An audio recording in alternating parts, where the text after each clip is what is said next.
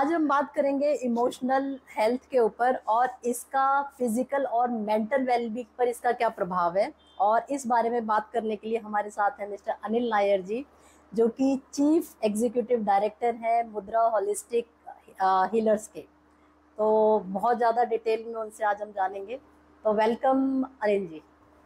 Thank you so much Rekha ji. और सबसे पहले तो आपने मुझे अपने स्टूडियो में इनवाइट किया। इसके लिए मैं बहुत बहुत धन्यवाद आपका देता हूँ।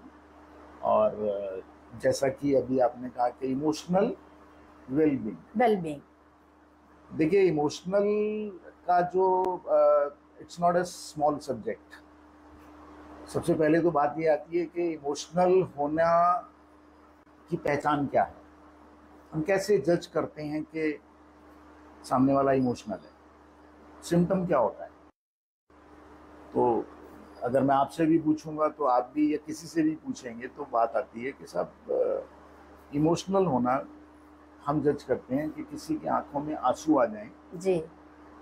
तो हम ये कहते हैं कि सब सब सामने या किसी की बात से फ़र्क पड़ जाना दुखी हो जाना तब हाँ। हम समझते हैं कि ये बंदा इमोशनल है। राइट कि इमोशनल हो गया। हम्म। अब नेक्स्ट सवाल फिर यहाँ ये आता है कि क्या इमोशनल होना वीकनेस है? या स्ट्रेंथ है। जनरल कॉर्पोरेट वर्ल्ड में और जनरल अगर हम इस चीज़ को देखेंगे तो इमोशनल होना लोग यही कहते हैं कि इमोशनल होना कमज़ोर आदमी। जी। है ना? बट ऐसा नहीं है। इमोशनल होना स्ट्रेंथ है। अगर कोई इंसान छोटी बात पर या किसी भी बात पर बहुत जल्दी उसको इमोशनल हो गया यानी आँसू आ जाते हैं तो ये उसकी वीकनेस नहीं है। ये उसकी स्ट्रेंथ है। अब स्ट्रेंथ कैसे है? आ, अगर मैं आपसे ये पूछूँ कि मेल और फीमेल दोनों में हार्ट अटैक किसको ज़्यादा होता है? मेल मेल को राइट आज की तारीख में आप किसी भी हॉस्पिटल में चले जाओ। अगर वहाँ पे 100 पेशेंट हार्ट के पेशेंट एडमिट है ना तो 99 पेशेंट मेल होंगे एक लेडी हो सकती है एक फीमेल हो सकती है। और इसका रीजन क्या है? सिमिलरली ब्रेन हेमरेज मेल को होता है फीमेल को नहीं होता। क्योंकि फीमेल जो हैं लेडीज़, फीमेल, हमारी माताएँ, बहनें, सब सब उस कैटेगरी में आ गए। उनकी स्ट्रेंथ है कि वो इमोशनल है। वो अपनी बात कह भी लेती हैं और रो भी लेती हैं। राइट पर मेल जो है, उसको बचपन से एक चीज़ सिखाई गई क्या है लड़कियों की तरह रोता है। उसके रोने पर बैन लगा दिया। अब मेल जो है, वो ग्रेचुअली बड़ा होता जा रहा है। राइट पर बड़ा होते के साथ साथ उसके बैक ऑफ़ द माइंड एक चीज़ स्टोर हो चुकी है कि बेटा कुछ भी हो जाए रोना नहीं है। हम्म। तो सब हार्ट अटैक तो होगा। ब्रेन हेमरेज होगा। और एक बहुत ही फ़ेमस डायलॉग भी एक मूवी का है। मूवी का नाम मुझे ध्यान नहीं आ रहा। मर्द को दर्द नहीं होता। दर्द नहीं होता। तो वो दर्द होने की वो आप जगह ही नहीं छोड़ी ना। बचपन हाँ। से ही उसको ये सिखाया गया है खबरदार अगर तुम रोए तो। हाँ। क्या तुम लड़कियों की तरह रोते हो? हम्म। अब बचपन से उसके दिमाग में एक चीज़ स्टोर हो गई कि यार कुछ भी हो रोना नहीं है। अब वो सिचुएशन है ऐसी सिचुएशन घर में बनी है उसके कहीं पर भी बनी जहाँ वो चाहता है कि मैं अपने आप को रिलीज़ करूँ। रोना मीन्स रिलीज़ करना। हम्म। लेकिन मम्मा ने कहा था अम्मा ने कहा था रोना नहीं है। अब वो नहीं रो रहा रोक रहा है। उस इमोशन को उसने अपने अंदर स्टोर कर लिया हम्म। वो जो इमोशनल ब्लॉकेज हो रही है हार्ट अटैक तो होगा। तो इमोशनल स्ट्रेंथ हमारी कहाँ कमज़ोर है? इसीलिए कमज़ोर है कि हम नेचुरल जो चीज़ें हमारे साथ होनी चाहिए हम उनको रोक रहे हैं। हम्म। जबकि रोकना नहीं है। दैट्स वाई हमारे साथ अनरिजॉल्व नेगेटिव इमोशन जिनको हम कहते हैं। अनरिजॉल्व नेगेटिव इमोशन क्या है? एंगर फियर रिसेंटमेंट ईगो ये सारे अनरिजॉल्व नेगेटिव इमोशंस हैं। पर किसी को ये कहना कि भाई गुस्सा मत किया कर कहना तो बहुत आसान है। हम्म।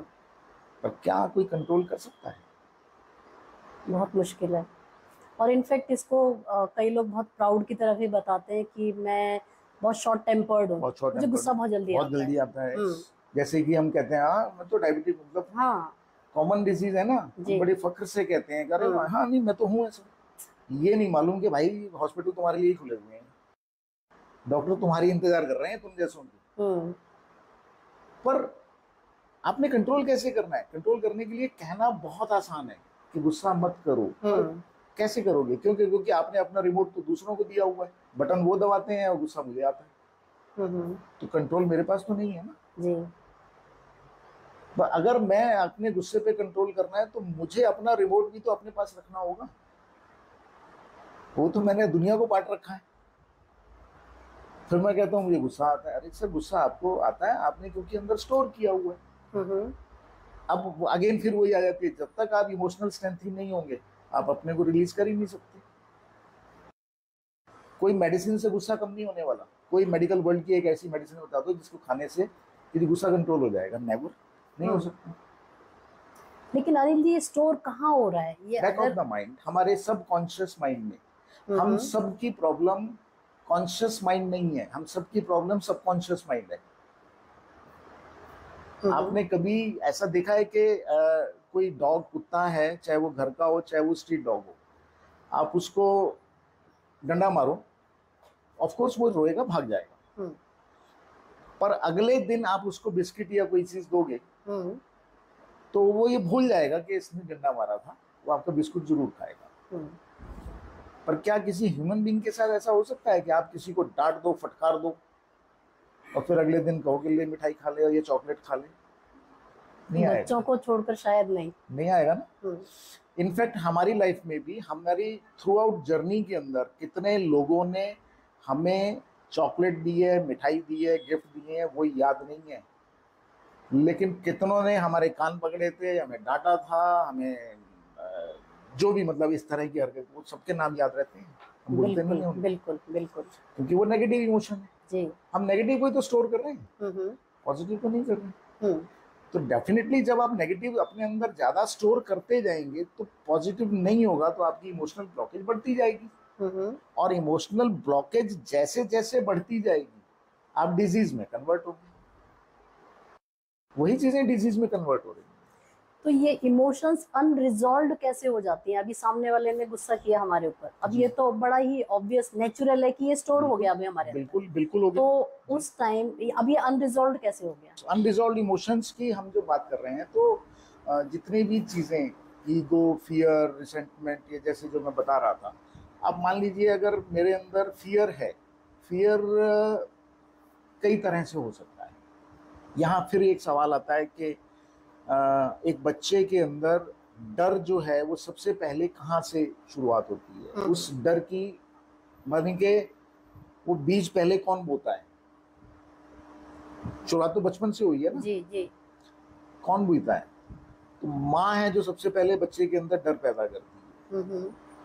सो जा नहीं तो ये खा फिर ऐसा हो जाएगा। हम्म। हम बचपन से ही बच्चे को माँ डराना शुरू करती है। हम्म। वो डर धीरे धीरे स्कूल जाना शुरू करता है तो टीचर डराती है।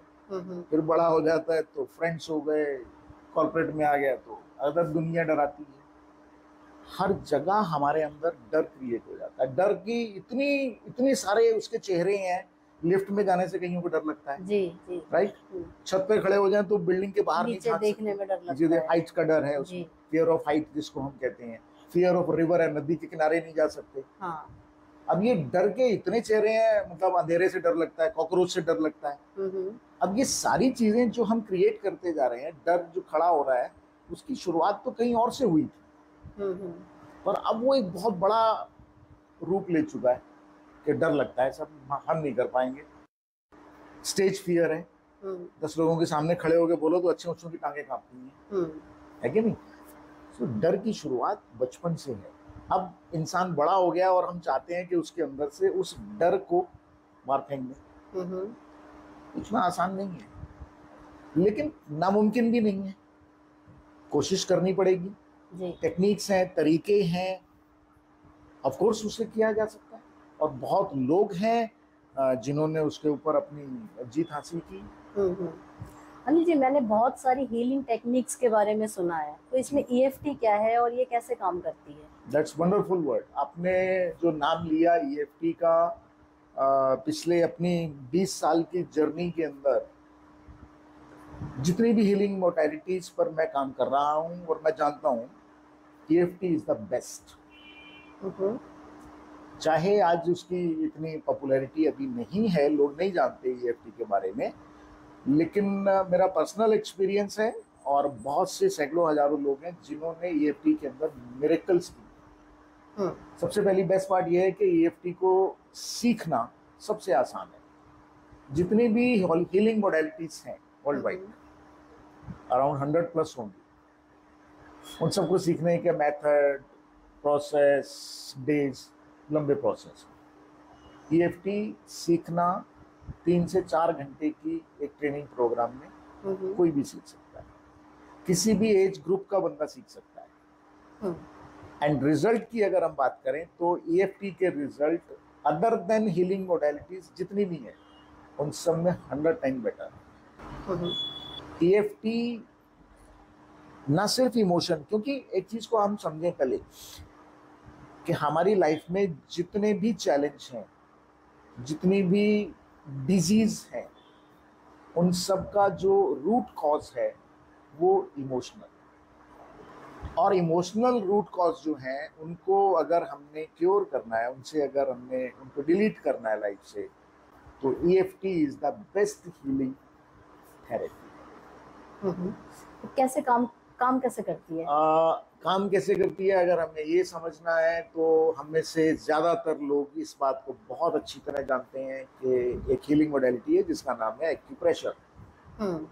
बहुत कॉमन है बहुत दुनिया जानती है। जी। राइट जिसके अंदर आप देखेंगे लोगों ने अपने घर में वो दाल स्टोन कई चीज़ें लगा रखी होती हैं उनको स्टोन को प्रेशर से करना बॉडी के पैरों में हाथों में कई जगह आपने देखा होगा। एक और हीलिंग मोडेलिटी है उससे पहले जिसको कहते हैं एक्यूपंक्चर एक्यूपंचर में जिसमें नीडल्स नीडल्स का यूज़ नीडल्स की यूज़ होती है। चाइनीज़ बेस्ड थेरेपी है ये। और uh, उस थेरेपी के अंदर ऑफ़ uh, कोर्स वो ज़्यादा पॉपुलर नहीं हुई बट की बहुत पुरानी है अराउंड मेरा ख्याल है कोई 500 साल पुरानी होगी शायद। और लेकिन ज़्यादा पॉपुलर नहीं हो पाई क्योंकि हर इंसान के लिए हर पेशेंट के लिए उस नीडल्स को ऑब्ज़र्व करना मुश्किल है। नेक्स्ट आ गया एक्यूप्रेशर एक्यूप्रेशर ठीक है? एक्यूप्रेशर में भी 100 प्लस मेरिडियन पॉइंट्स हैं जो बॉडी के अंदर है सारा कंट्रोल है। और मैं ऐसे लोगों को भी जानता हूँ जो एक्यूप्रेशर के बहुत अच्छे टीचर हैं बहुत अच्छे ट्रेनर हैं और वो चैलेंज करते हैं कि दुनिया की शुगर ठीक हो जाएगी बीपी ठीक हो जाएगा। लेकिन उनका खुद का नहीं हुआ। हम्म। ठीक है? रीज़न है उसके पीछे बहुत बड़ा रीज़न है। ईएफटी e काम करती है अगर एक्यूप्रेशर में हंड्रेड प्लस मेरिडियंस हैं मेरिडियन पॉइंट्स जो हमारी बॉडी में कंट्रोल सिस्टम कह सकते हैं हम उनको। ईएफटी e के अंदर वो सारा कंट्रोल सिस्टम जो है वो 14 मेरिडियन पॉइंट में आता है। पूरी बॉडी का। कहा हंड्रेड प्लस है? जी। पर अब वो 14 है। हम्म। फ़र्क दोनों में कहा ये है ईएफटी बेस्ट क्यों बन गई? क्योंकि जब कभी भी आप अगर मान लीजिए अगर आपका एक्सपीरियंस या किसी का भी ये एक्सपीरियंस रहा हो कि वो एक्यूप्रेशर गए करवाने। तो जब आप थेरेपिस्ट के सामने बैठते हैं और वो आपके पैरों में या आपके हाथों में दोनों हाथों में उनका प्रेशर पॉइंट्स को प्रेस करके काम कर रहा है उस समय पे आप क्या कर रहे हो? पेशेंट क्या कर रहा होता? कुछ नहीं कर रहा कुछ नहीं कर रहा होता। ठीक है? हाँ। वो हाथ दबा रहे हैं सामने बैठे हैं पेशेंट हाँ। बैठा है आप बैठे हैं कभी इधर देख रहे हैं उधर देख रहे हैं। ज़्यादा से ज़्यादा प्रेस होगा तो दर्द महसूस हाँ। इतना ही होगा। और आप कुछ ना कुछ सोच रहे हैं। एग्जैक्टली थॉट कहीं और है माइंड हम्म। कहीं और घूम रहा है। हम हैं वहाँ पर लेकिन वहाँ नहीं नहीं है। राइट राइट अब ईएफटी e कैसे काम करती है कि ईएफटी e के अंदर पेशेंट को खुद करना है सब कुछ। हम्म। सबसे पहले तो अपने थॉट की प्रोग्रामिंग को चेंज करना है। इसीलिए ईएफटी e बाकी सबसे बेस्ट है। जातन लागी वो तन जाने। अगर मुझे कोई प्रॉब्लम है कोई डिज़ीज़ है तो उसका दर्द मैं महसूस कर रहा हूँ। राइट अगर आप थेरेपिस्ट हैं तो क्या आपको वो दर्द महसूस होगा? नहीं। सिंपल बिल्कुल। महर्षि चरक आयुर्वेद के जनक उनके शिष्य बाग भट्ट क्या कहते हैं कि जो पेशेंट है जो मरीज़ है वो सबसे बड़ा वैद है। उस जमाने में उन्होंने कहा। क्योंकि अगेन फिर वही बात जातन लागी वो तन जाने। दर्द अगर मुझे है तो उसका उसका जिसके ऊपर बीतती है उसी को वही पता समझेगा ना। वही समझेगा। हाँ। तो उससे अच्छा ठीक करने वाला दूसरा कैसे कर सकता है? As a medical practitioner doctor के पास हम जाते हैं। एज अ जो भी डॉक्टर होते हैं वो प्रैक्टिशनर मेडिकल प्रैक्टिशनर है। उन्होंने उन्होंने और नहीं पढ़ा हुआ उनको इमोशन से कोई मतलब नहीं है। उन्होंने इस मशीन को पढ़ा है। ये मशीन ही तो है हम्म। ईश्वर की बनाई हुई। इस मशीन को पढ़ा है बस। अब इस मशीन के अंदर क्या क्या होता है उसने पाँच सात साल के अंदर उस चीज़ को बहुत अच्छी तरह पढ़ा हम्म। लेकिन क्या मेडिकल प्रोफेशन में इमोशन पढ़ाया जाता है? नहीं। नहीं। वहाँ तो इमोशन लेस कर दिया जाता है। मुन्ना भाई एमबीबीएस देखी है ना आपने भी? हम्म। कि अगर आप इमोशनल हैं तो बेटी का ट्रीटमेंट ही नहीं कर पाएगा। कर पाएँगे। हाँ। तो वहाँ तो सारे तार काट दिए जाते हैं। तो एक डॉक्टर एक मेडिकल प्रैक्टिशनर जो है वो किसी पेशेंट के साथ चाहे उसको बीमारी कुछ भी है उसके साथ इमोशनली अटैच तो होता ही नहीं है। बिल्कुल। ठीक है ना? लेकिन जो ऑल्टरनेट थेरेपिस्ट हैं। जी। और बीमारी का सोर्स ही आया इमोशन से है। अपने वो कोर्स बीमारी जो भी है उसका रूट कॉज इमोशनल है। इमोशनल है। हम काम कर रहे हैं डिज़ीज़ पे। जी। उस रूट कॉज को तो हम देख ही नहीं रहे दैट्स वाई वर्ल्ड वाइड आज की तारीख में मैं चैलेंज से ये बात कहता हूँ कि मेडिकल वर्ल्ड के अंदर कोई भी मेडिसिन कोई भी मेडिसिन या मैं चैनल पे कह रहा हूँ आपके डिज़ीज़ को क्योर नहीं करती। अब मुझे एक ऐसी डिज़ीज़ बता दो या मेडिसिन बता दो जो डिज़ीज़ से क्योर करती है। उसके सिम्टम्स को क्योर करती है। सप्रेस करती है। हाँ सप्रेस करती है राइट क्योर नहीं करती। हम्म। पूरे मेडिकल वर्ल्ड के अंदर कोई भी मेडिसिन आपकी डिज़ीज़ को क्योर नहीं करती है और ये मेडिकल वर्ल्ड को भी मालूम है डॉक्टरों को भी मालूम है हम्म, हम्म। मैं पिछले 20 साल से ऑल्टरनेट थेरेपी में काम कर रहा हूँ बहुत से मेडिकल प्रैक्टिशनर डॉक्टर्स थेरेपी सीखने E F T reiki and बहुत सारी थेरेपी मेरे पास आते हैं सीखने क्योंकि उनको भी मालूम है कि दवाइयों से ठीक नहीं होने वाले पर इन थेरेपी से ठीक हो जाएँगे और हुए हैं हम्म। हमारे पास रिज़ल्ट है एग्ज़ाम्पल है हमारे पास हम्म। क्योंकि ये रूट कॉज पे काम कर रूट कॉज पे काम करना है। हम्म। जब तक आप पेशेंट की किसी भी डिज़ीज़ की रूट कॉज पे काम नहीं करेंगे वो क्योर नहीं हो सकता। रिलीफ हो जाएगा आराम मिलेगा। क्योर नहीं हो सकता। मेरे पास ऐसे बहुत से पेशेंट हैं जिन्होंने अपनी प्रॉब्लम या अपनी डिज़ीज़ को हंड्रेड परसेंट क्योर कर दिया through E F T through reiki क्योंकि रेकी और ई एफ़ टी का जो कॉम्बिनेशन है वो अल्टीमेट अनिल जी आप अपनी जर्नी के बारे में बताइए कैसे मुद्रा होलिस्टिक हीलर्स एग्जिस्टेंस में आया और इसकी शुरुआत कब और कैसे हुई? टू थाउज़ेंड फोर मैं उससे पहले गारमेंट इंडस्ट्री में रहा हूँ लगभग सोलह साल। Garment industry high fashion garment industry में मैं काम करता था। और 2004 में मैं था कीनिया में as a factory head garment industry थी तो वहाँ पर छुट्टियाँ हुई दो चार दिन की तो हम लोग ऐसे फ्रेंड्स वगैरह घूमने निकल गए। तो हॉर्स राइडिंग था हमारे पास में। हम्म, हम्म। हॉर्स राइडिंग का शौक था तो मैं भी हॉर्स राइडिंग कर रहा था और मैं वहाँ घोड़े से गिरा और मेरा ये घुटना टूट गया। Fracture hmm. हुआ। और फ्रैक्चर होने के बाद ऑफकोर्स हॉस्पिटल का सारा प्रोसेस और यहाँ से लेके पूरी टांग पे प्लास्टर चढ़ गया और मतलब हम जिस काम के लिए गए थे वो सब समझ में कि ये अचानक से एक्सीडेंट हो गया तो क्या करें? फैमिली नहीं थी फैमिली इंडिया में थी। कुछ दिन के बाद मेरी जो मेड थी अफ्रीकन लेडी किनिया की वो रेकी जानती थी। रेकी वर्ड उससे पहले मैंने कभी सुना नहीं था। क्योंकि मैं गारमेंट इंडस्ट्री का बंदा मतलब सुबह से शाम आठ बजे फैक्ट्री जाना है रात को बारह बजे घर आना है इसके अलावा दुनिया क्या है मुझे पता ही नहीं। फैक्ट मुझे नहीं मालूम। हाँ कुछ सब्जेक्ट थे जो मेरी हॉबी थी जैसे वास्तु एंड न्यूमरोलॉजी वो मैं ज़रूर करता था लेकिन हॉबी थी। प्रोफेशन कभी होगा कभी नहीं सोचा था। तो वो जो लेडी थी वो मेरे को मेरी प्लास्टर चढ़ा हुआ है टांग के ऊपर तो वो मेरे को कहती है कि अब to heal you healing word पहली बार सुन रहा हूँ। What's the healing what's the reiki उसने दोनों हाथ रखे मेरे घुटने के ऊपर प्लास्टर के ऊपर और मेरे को जैसे हीलिंग करती है ऐसी ही गर्मी थी वहाँ पर और वहाँ तो वैसी गर्मी ज़्यादा होती है। जी। तो नेचुरली जब आपके प्लास्टर अगर चढ़ा है तो ईचिंग बहुत होती है। हम्म। आप कर कुछ नहीं सकते। अब हुआ क्या कि उसने जैसे ही मुझे हील किया मैं हैरान क्योंकि वो जो ईचिंग हो रही थी वो एकदम से गायब हो गई। बड़ा वंडरफुल रिलीफ मैं हैरान मैंने कहा यार मन में तो यही आया मैंने कहा यार इसने किया क्या है? मतलब अब मैं कहूँ तो कहूँ किससे? हम्म। कोई था ही नहीं वहाँ पे। हम्म। मैंने फिर उससे पूछा मैंने कहा कि नाम भी भूल गया उसका। तो से अगेन तो उसको दोबारा उसने किया। बहुत अच्छा लगा। फिर उससे पूछा व्हाट इज़ द रेकी कागज़ पे लिख के दिया वर्ड उसने। हम्म। उठाया लैपटॉप और मैं फिर रेकी ढूँढने लगा। Within two three day में ये समझ में आ गया कि ये हीलिंग मोडालिटी है और इस तरह से आप किसी को भी हील कर सकते हो। हम्म। छह महीने बाद जब मैं इंडिया वापस आया तब मैं क्रॉच लेके चलता था। और यहाँ के हॉस्पिटल जो है इवन ऑल इंडिया में भी रिपोर्ट्स वगैरह सब दिखाई तो डॉक्टर सबने कहा कि साहब आप लाइफ टाइम ऐसे ही चलोगे क्रॉच लेके। मेरे सामने बहुत बड़ा चैलेंज था कि यार ये ऐसे कैसे चलेगा? ये बड़ा मुश्किल हो जाएगा। हम्म। अब ध्यान आया कि रेकी सुना था।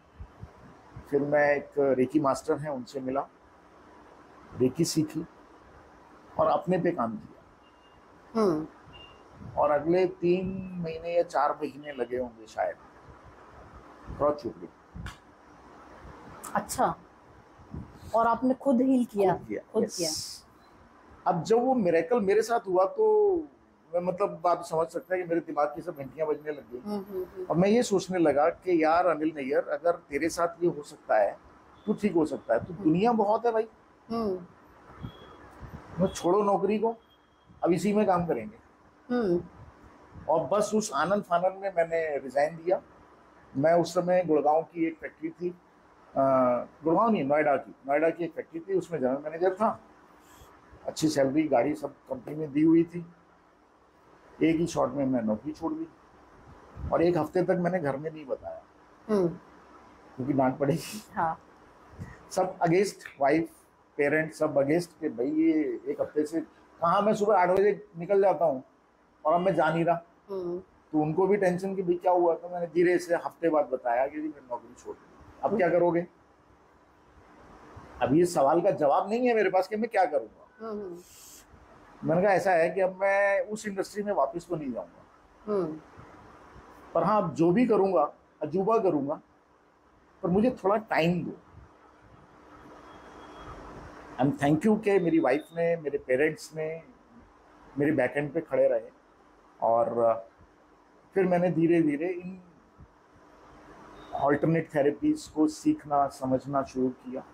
और लगभग डेढ़ साल या दो साल के करीब। मैंने ढूंढ ढूंढ के पूरे ऑल ओवर इंडिया में ऐसे गुरु ऐसे टीचर ढूंढे जो मास्टर थे। हम्म। अब तक मैं अ, अगर मैं याद है मुझे जो टोटल काउंट करूँ तो 17 17 दीक्षाएँ ले चुका हूँ। Different different gurus hmm. Different different modalities से। पर ढूंढे सारे मैंने हीरे।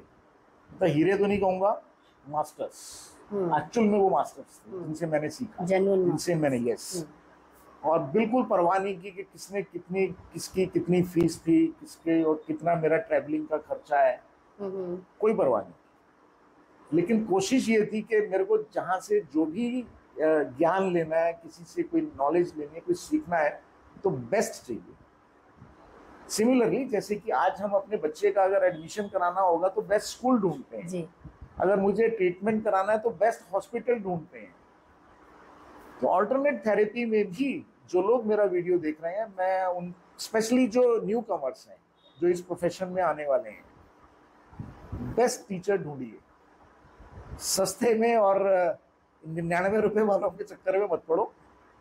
जेन्युइन ढूंढो बेस्ट ढूंढो और उस पर काम करो रिज़ल्ट मिलेगा। मैंने अपनी लाइफ में अपने पे काम किया।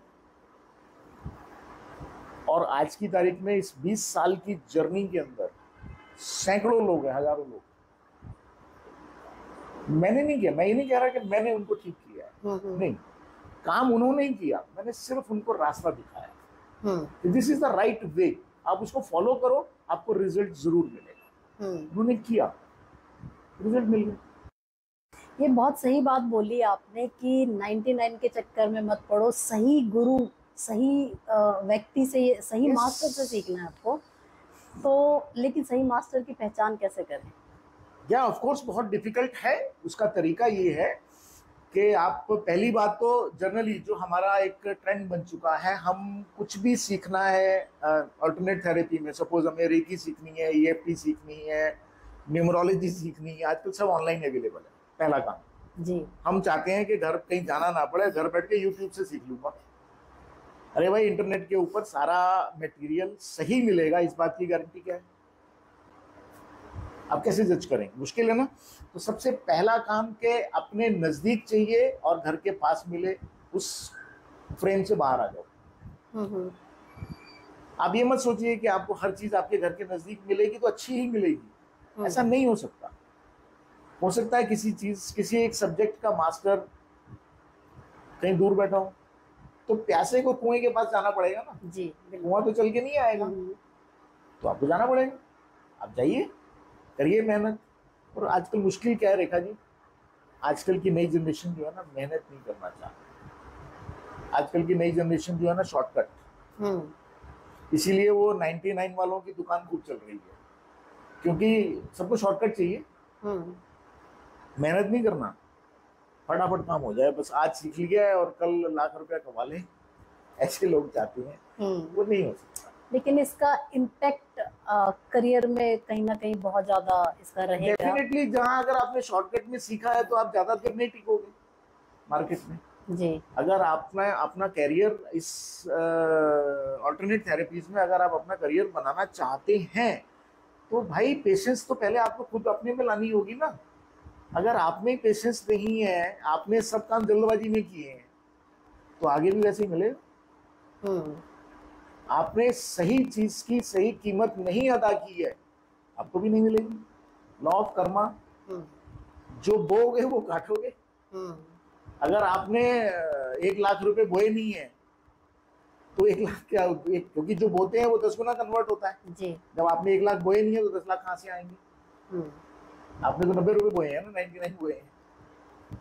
तो उसका हम्म। दस गुना होगा इससे ज़्यादा तो होने वाला नहीं। सिंपल सा हम्म, फॉर्मूला है लॉ ऑफ़ अट्रैक्शन का। हम्म, कि जो दोगे वो लौट के आए। आप देना नहीं चाहते हो तो आएगा भी नहीं। तो पहले देने का मादा क्रिएट करना अपने आप में ये अपने आप को तोड़ना कि यस मैं पहले अपने आप में काम करूँगा। हम्म, मैंने अगर रेकी पे काम करके लोगों को सिखाना शुरू किया पाँच साल बाद। हम्म, पाँच साल तक मैंने अपने पे काम हम्म। किया लोगों को लेकिन पढ़ाया नहीं सिखाया नहीं मैंने। हीलिंग का इतना एक्सपीरियंस होने के बाद मैंने क्लासेस शुरू की। हम्म, जब अपने आप में कॉन्फिडेंस था कि यार अब आ जाए कोई भी आ जाए। अनिल जी ऐसी कौन सी स्ट्रांगली ऐसी कौन सी चीज़ थी कि आपने एकदम से कॉर्पोरेट जगत से इसमें आने का डिसीज़न ले लिया?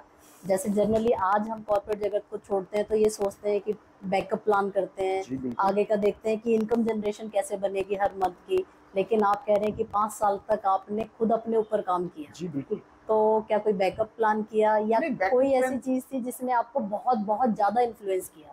डेफिनेटली मेरे सामने एक चैलेंज यही था कि यार मैं मेरे साथ जो क्योंकि वो कह अगेन फिर वही बात कहूँगा जा तन लागी वो तन है। मैं उस दर्द को महसूस कर चुका था। एक्सीडेंट के बाद। हम्म, मुझे ये लगा कि यार मेरे साथ ये प्रॉब्लम हुई है तो कितनी दुनिया है जो कितने परेशान लोग हैं।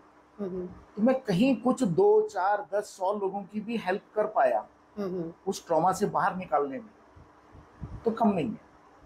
शुरुआत तो थोड़ी सी होगी ना। जी जी।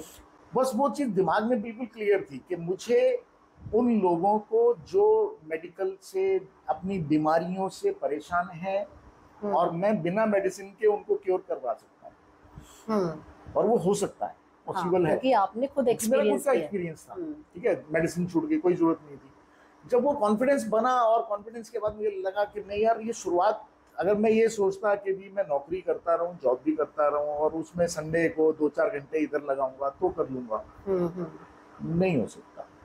हम्म, मुझे एक साइड चुननी होगी या तो इस साइड या उस साइड अगर मैं ये सोच के काम शुरू करूँगा कि यार मैं पार्ट टाइम जनरली हम कहते हैं यार एक पार्ट टाइम काम शुरू कर रहा हूँ। अगर हाँ. मैं पार्ट टाइम बेस पे इसको लेता तो नहीं होता। मैं शायद उसी इंडस्ट्री में पड़ा होता। और आज तो खैर उठा के मेरे को इंडस्ट्री की बात फेंक देती तो कहीं ना कहीं पे यहाँ आपका फोकस और एक clear clear intention clear mind clear mind yes मेरे सामने टारगेट बड़ा क्लियर था कि मुझे मैक्सिमम लोगों को हेल्प करनी है। क्योंकि मेरा कॉन्फिडेंस था कि अगर मैं हो सकता हूँ तो और भी हो सकता है। तो उसकी शुरुआत होगी तो छोटे से ना? जी। मेकिंग और उसके अच्छे रिज़ल्ट मिले। अब उस इंडस्ट्री के वो लोग जो मेरे को कहते थे तू बेवकूफ़ है तू पागल है तू नौकरी छोड़कर इस काम में जा रहा है। आज कंपनियों ने उनको निकाल दिया है नौकरी से। वो कुछ नहीं कर सकते। अब वो मुझे कहते हैं कि यार तू बहुत बढ़िया रहा। तूने राइट टाइम पे राइट डिसीज़न लिया। ये फ़र्क है? जी। क्योंकि मैं जानता हूँ कि मेरी लाइफ के अंदर रिटायरमेंट तो है ही नहीं। मेरी रिटायरमेंट नहीं होनी। अब वो रिटायर हो चुके हैं। और उनको कोई पूछ नहीं रहा। मैं तो आज ऐसे प्रोफेशन में हूँ कि मैं जैसे जैसे मेरी एज बढ़ेगी मेरी डिमांड बढ़ रही है। वैल्यू बढ़ रही है। राइट हाँ, संडे नहीं है मेरी लाइफ में। हाँ. कोई छुट्टी नहीं है। क्यों हाँ. करनी है छुट्टी? किस लिए चाहिए कोई ज़रूरत नहीं है छुट्टी। कहते हैं आराम कर लो रेस्ट कर लो। अरे रेस्ट करेंगे एक ही बार करेंगे। हाँ। जल्दी क्या है? बिल्कुल। तो जब आपके फोकस माइंड सब कुछ क्लियर होगा ना थॉट्स के यार मुझे ये करना है हाँ. तो डिवाइन भी आपकी हेल्प करता है। बिल्कुल। अब मेरे को अगर कोई चीज़ चाहिए कुछ होना है कहीं मिलना है किसी से आप बिलीव नहीं करेंगे रेखा जी मेरे साथ ऐसे ऐसे इंसिडेंट्स होते हैं कि जैसे वो चीज़ थाली में सच के मेरे सामने आती है कि लो जी ये आ गया काम करो। मेनी टाइम्स क्योंकि आपका फोकस और इंटेंशन बहुत क्लियर है तो वो चीज़ आपको बड़ी सीधी सी बात है। आप अगर अल्टरनेट थेरेपीज में काम कर रहे हैं तो सबसे पहले आपको अपने पे काम करना है। हम्म, हम्म। और उसमें सबसे पहला रोल ये आता है कि यार किसी को बेवकूफ़ नहीं बनाना। हम्म, जो बात सही है वो सही बताओ। जो चीज़ नहीं हो सकती नहीं हो सकती। अब कल को मुझे कोई फ़ोन आया और उन्होंने ये कहा कि सर कैंसर पेशेंट है आप हीलिंग से ठीक कर दो। मैं जानता हूँ वो नहीं ठीक होने वाला। अब मैं अगर ये कहूँगी नहीं जी ठीक है आप कल से आओ हम आपकी हीलिंग करेंगे और एक दो महीने हीलिंग करें उनसे तीस चालीस हज़ार रुपये भी ले लूँ। उसके बाद वो थैंक यू बाय बाय वो तो चले गए। हम्म। क्या फ़ायदा क्योंकि वो ठीक नहीं हो सकता। जी जी। साफ़ क्या होना कि भाई नहीं हो सकता। हम्म। हाँ जिस चीज़ पे काम हो सकता है जिस थेरेपी में अगर कोई शुगर का पेशेंट है डायबिटिक में जिसको हम कहते हैं बीपी है माइग्रेन है थायराइड है इस तरह की डिज़ीज़ पे काम हो सकता है ये ठीक हो सकती है। ये हीलिंग से ठीक हो सकती है। हम्म, होने को कैंसर वाला भी हो सकता है लेकिन अगर एज ज़्यादा हो गई है तो कैसे रिकवरी करोगे? जी। हर चीज़ का एक टाइम लिमिट है ना। कोई भी केस स्टडी के अंदर आपको ये देखना होगा कि उस पेशेंट के साथ उसके साथ जो भी प्रॉब्लम चल रही है वो कितनी पुरानी है और एज क्या है। क्या रिकवरी हो कर पाएगा? क्या पेशेंट का अपना सेल्फ कॉन्फिडेंस कैसा है? अगर पेशेंट का सेल्फ कॉन्फिडेंस खत्म हो चुका है तो मैं क्या कोई भी जितना मर्ज़ी ज़ोर लगा दे नहीं कोई भी नहीं बिल्कुल सर बिल्कुल सर चाहत तो चाहिए ना बिल्कुल बिल्कुल। अगर चाहत ही नहीं है तो फिर आप क्या करोगे? हम्म। बहुत सी चीज़ें मैटर करती खाली ये कहना कि मेरी सारे ठीक हो जाएँगे ऐसा नहीं। हाँ हो सकते हैं पर खुद मेहनत करनी है। मेरे पास जितने लोग आते हैं जितने पेशेंट आते हैं हम सबको साफ़ कहते हैं कि अगर आप खुद मेहनत कर सकते हो तो शुरू करो। हम्म। अगर आप खुद नहीं कर सकते हमारे भरोसे मत करो। हाँ तो इसका मतलब हील होने के लिए सबसे पहले विल पावर चाहिए। विल पावर नहीं है तो कोई भी हीलिंग काम नहीं करेगी। नहीं करेगी। सीधी सी बात। हम्म, हम्म। आप स्टोन पहन लो उसको क्रिस्टल पहना दो दुनिया भर के मैंने आजकल देखा हीलर किसी क्रिस्टल पहना रखे किसी कुछ पहना रखा है। सर कुछ नहीं होता उनसे। थोड़े टाइम के लिए रिलीफ हो सकता है। जी। लेकिन ये कहोगे कि बिल्कुल सारा क्योर हो जाएगा ऐसा नहीं होगा। और इतनी सच्चाई पे जनरली लोग बताते नहीं है और इसी पे बहुत सारे प्रोग्राम बहुत सारे जी। सच कहना बहुत मुश्किल है। हम्म। क्यों? क्योंकि हमको डर लगता है। हम लोग जो काम कर रहे हैं ना जनरली जो मार्केट में हम वो काम कर रहे हैं कि डराने वाला कि डराएँगे तभी तो ये आएगा। हम्म। काट की हांडी बार बार भी है ना दो ही धंधे चल रहे हैं एक डर का और एक एंटरटेनमेंट का। बस तो काट की हड्डी बार बार थोड़ा चढ़ती है। अब हाँ। एक बार किसी को डरा लोगे दो बार डरा लोगे। हम्म, नहीं होता। इसलिए बेस्ट ये है आपको स्पिरिचुअल वर्ल्ड के अंदर अगर हीलिंग मोडालिटीज पर किसी भी सब्जेक्ट पे काम करना है पहले अपने पे काम करें। अगर हम्म, आप अपने आप को नहीं सुधार पाए तो दूसरों को नहीं सुधार सकते। बिल्कुल। मैं इतने सालों से काम कर रहा हूँ मस्त रहता हूँ। लोग समझते हैं कि अगर हीलिंग में काम कर रहे हैं तो सुबह जल्दी उठना है पूजा पाठ ये वो। ऐसा कुछ नहीं है। आप बिलीव नहीं करेंगे कि मैं कोई पूजा पाठ नहीं करता। हम्म, हम्म, तो इसका मतलब ये नहीं है कि मैं भगवान पे बिलीव नहीं करता। जी जी। बिलीव है। हम्म, मैं सुबह साढ़े पाँच छः बजे उठता हूँ अपना साइकिल चलाता हूँ घूमता हूँ सब कुछ करता है। लेकिन ये कहना कि जी पाँच बजे उठ के हम सुबह घंटी बजानी शुरू कर देते हैं भगवान जी के आगे और अब हम सब ठीक रहेगा। हाँ हाँ तो भगवान जी थोड़ा ठीक करेंगे। कर्म अपने ठीक नहीं किए हमने। जी जी। और घंटी बजाने से हम सोचते हैं कि हम ठीक हो जाएँगे। हाँ। ऐसा नहीं होने वाला। हम अपने के अंदर झांकना नहीं चाहते। ये फैक्ट है। जीवन का सच यही है। हम दूसरों को सुधारना चाहते हैं पर खुद नहीं सुधरना चाहते। हम्म, हम्म, क्योंकि हम और ऐसे उंगली करो तो पता है ना तीन मेरी तरफ़ है। सबको मालूम है? बिल्कुल। ये जो तीन मेरी तरफ़ है तो मेरे को इंडिकेट कर रही है कि बेटा खुद सुधर ले। नेवर वो नहीं सुधरना चाहते हम चाहते हैं कि तुम गलत हो तुम गलत हो तुम गलत हो। सारी प्रॉब्लम बाहर है। मैं मैं तो दूध का धुला हूँ। हम्म, मैं तो ऊपर से प्रकट हुआ हूँ। हम ये मान के चलते हैं। ऐसा कुछ नहीं है। इसीलिए लोगों की लाइफ में प्रॉब्लम्स है दैट्स वाई कि लोग इतने परेशान क्यों है? चाहे वो ज्योतिषी भी है। हम्म, अब वो क्या लगता है? जितने ज्योतिषी हैं सब सुखी हैं। जितने डॉक्टर हैं सब सुखी हैं। नहीं है। अंदर झांको तो पता चलता है कौन कितने पानी में है। हाँ हाँ। मेरे पास तो सारी कहानियाँ खुलती है ना। हम्म, तो मैं उनसे एक ही बात कहता हूँ भाई अपने पे काम कर लेते हैं।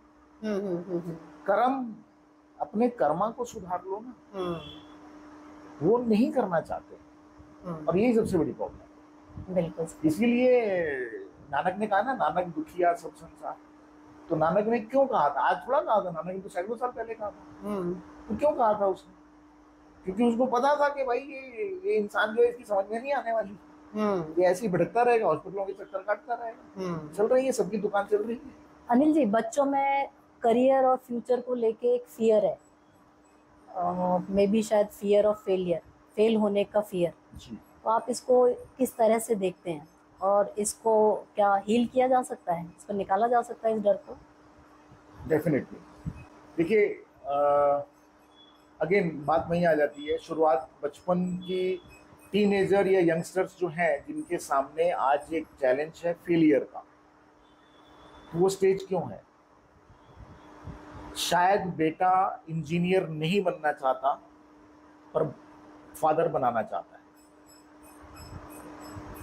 क्योंकि फादर खुद इंजीनियर नहीं बना। ठीक है? वो कोई भी बिज़नेस में हो सकता है। लेकिन आज वो ये चाहता है कि मेरा बेटा इंजीनियर बने मेरा बेटा डॉक्टर बने वो ये चाहता है। पर बेटा नहीं बनना चाहता। अब आप क्या करोगे? देखिए मैं छोटा सा एग्जांपल देता हूँ। मुझे अच्छी तरह याद है। एक बच्ची थी लगभग आठ नौ साल की। उसको डांस करने का बहुत शौक था। और बहुत अच्छी डांसर थी। गॉड गिफ्टेड कह सकते स्कूल से आती थी अपनी ड्रेस चेंज करके खाना वाना खा के रेडियो उस जमाने में रेडियो होते थे रेडियो पे गाने आते थे और वो उन गानों पे डांस करती थी घर के आँगन में। सब बड़े खुश होते थे। अचानक एक दिन क्या हुआ कि उसका फादर उस लड़की का शायद जल्दी घर आ गया। पर उस फादर के साथ ऑफ़िस में कुछ ऐसा रहा होगा जिसकी वजह से उसको गुस्सा था नाराज़गी थी। वजह कुछ अब वो जैसे ही दरवाज़ा खोल के घर एंटर करता है तो देखता है कि बेटी किसी फिल्मी गाने पे डांस कर रही है। जैसे ही उसने उस मोमेंट में एंटर किया देखा खबरदार अगर आज के बाद डांस किया तो तेरी हम्म। टांगे तोड़ दूँगा। वो बेटी जो डांस कर रही थी बच्ची एकदम सन्न रह गई। उसको तो नहीं मालूम ना कि फादर की नाराज़गी गुस्सा किस बात पर है। क्योंकि डांस तो वो पहले भी करती थी बात को पता था। लेकिन उस दिन फादर का मूड खराब? था। उसमें फादर का मूड खराब। हम्म, तो खबरदार आज के बाद तूने डांस किया तो मैं। तेरी टांगे तोड़ दूँगा। उस दिन से उस बच्ची ने डांस करना बंद कर दिया। हम्म, अब वो ट्रॉमा जो था उसके बैक ऑफ़ द माइंड में स्टोर हो गया। हम्म, बाप तो अपनी बात कह के सो गया चाय पी के। हम्म, पर उस बच्ची के साथ क्या हुआ? अब उसको ये हो गया कि उस दिन के बाद उसने डांस नहीं किया। हम्म, फिर वो बड़ी हो जाती है एजुकेशन पूरी कर लेती है जॉब प्रोफेशन में भी रही होगी और एक दिन अचानक उसकी शादी भी हो जाती है। हम्म, शादी होने के बाद उसकी मैरिज लाइफ में सक्सेस नहीं हो पा रही प्रॉब्लम चल रही है हस्बैंड के साथ ट्यूनिंग नहीं बन रही है। रीजन कुछ भी हो सकता था। हम्म, अब जब वो केस मेरे पास आया तो जब अब मैंने उसके साथ बैठ के बातें की तो कहानी आके कहाँ से पकड़ में आई कि उस बच्ची को तब रोका गया था हम्म, जिसका रिज़ल्ट अब आ रहा है। अब वो इस कदर डिप्रेशन में है हम्म, कुछ कर नहीं पा रही। आजकल के हमारे बच्चे जो करना चाहते हैं पेरेंट्स उनको वो नहीं करने दे रहे। पेरेंट्स का जो फेलियर रहा है पेरेंट्स जो नहीं कर पाए उनसे वो करवाना चाहते हैं। हम्म, तो बच्चों में फियर तो रहेगा ही रहेगा। अब सिंपल सी बात है ना। मैं एक बहुत अच्छी तरह याद है। कई साल पहले एक ब्रिगेडियर साहब के साथ मेरा बैठना हुआ। अब वो हम्म। ब्रिगेडियर साहब का आर्मी से ऑफकोर्स ब्रिगेडियर छोटी रैंक नहीं हम्म, होता। हम्म, लेकिन उनका बेटा जो है वो फौज में नहीं जाना चाहता।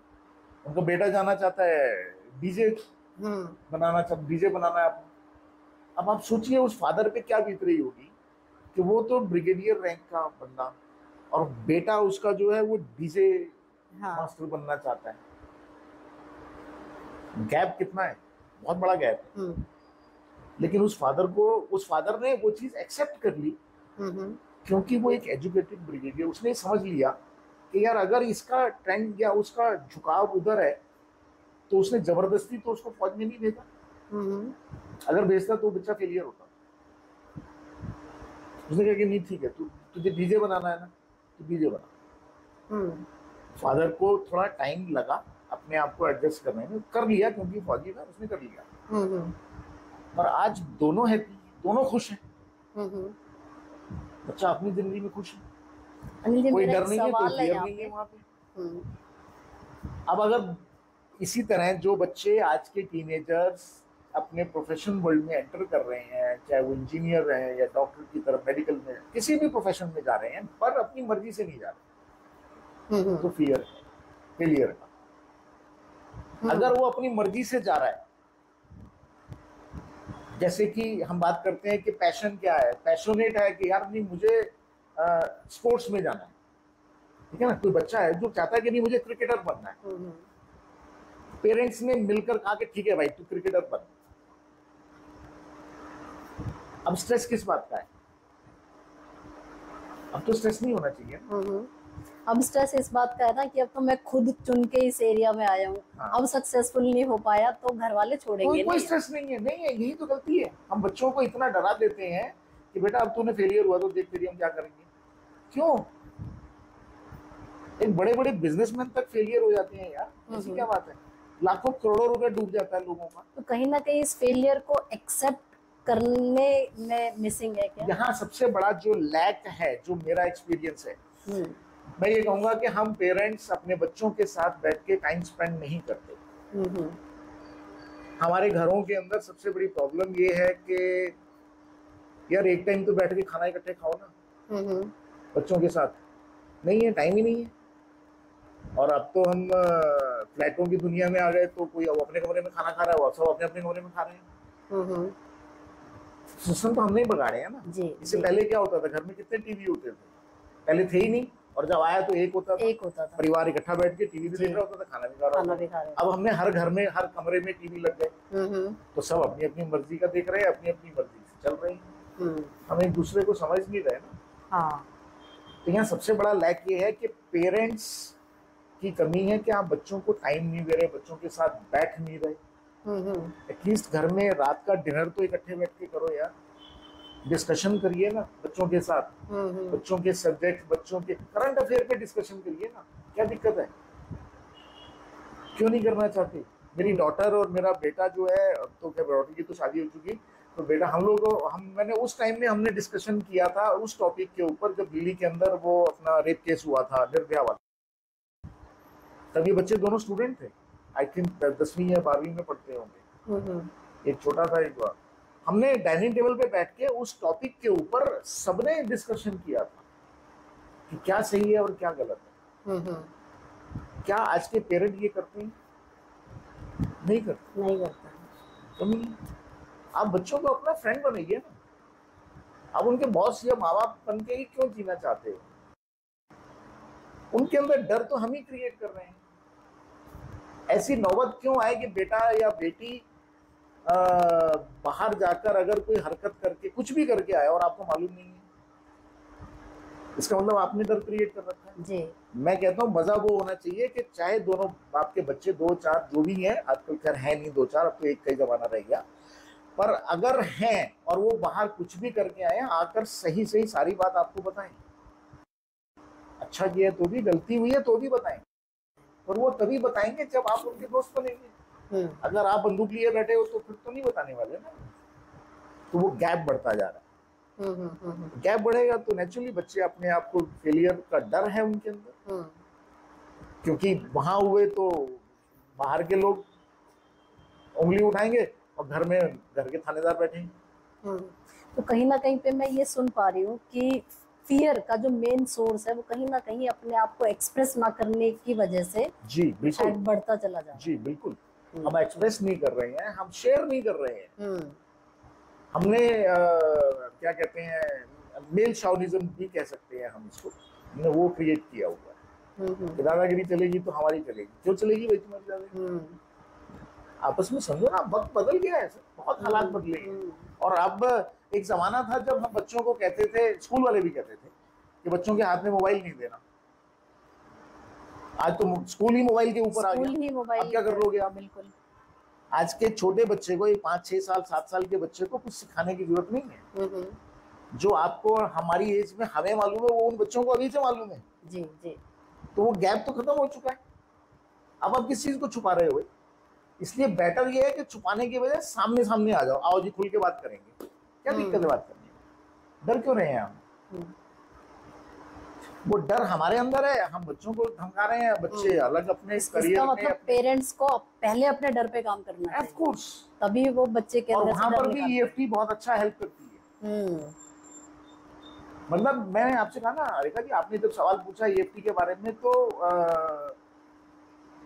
वर्ल्ड वाइड जितनी भी हीलिंग मोडेलिटीज हैं हम्म, हम्म, सबसे बेस्ट हीलिंग मोडेलिटी ईएफटी दावे से कह सकता हूँ प्रूव कर सकता हूँ इस बात हम्म, हम्म, हम्म, एविडेंस के साथ इंस्टेंट को रूप आंसर दे सकता हूँ कोई भी आ जाए मेरे सामने इंस्टेंट रिज़ल्ट दिखा दूँगा।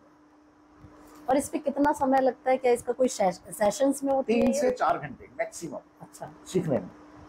और किसी भी तरीके के एंगर को या किसी भी तरीके Instant. के इमोशंस को सब रिलीज़ रिलीज़ किया जा सकता हाँ है। ये ऐसा नहीं है कि चार घंटे सीखने के बाद सब कुछ खत्म हो जाएगा। हाँ। आपको काम करना पड़ेगा। जी। आ, आपको जो भी है उनकी कितनी प्रॉब्लम कितनी पुरानी है कितनी हम्म। बड़ी है उसके अकॉर्डिंगली हम बैठकर फिर वही तो समझाते हैं कि आपको हम्म। इतना टाइम लगेगा इतना काम करना है इतनी मेहनत करनी है। हम्म, हम्म, तो रिज़ल्ट आएगा।